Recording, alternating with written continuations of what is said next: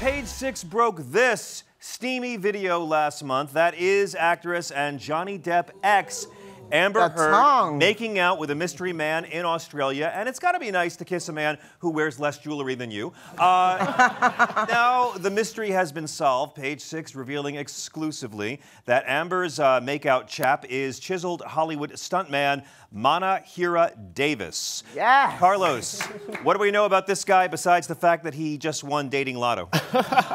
Well, we know that they're very much into each other. We saw that in the video. But, you know, we did have sources who confirmed who he is. He's a stuntman. Uh, he, it appears he may have two children. That's based on photos He from his Instagram. it does in that picture. He does, yeah.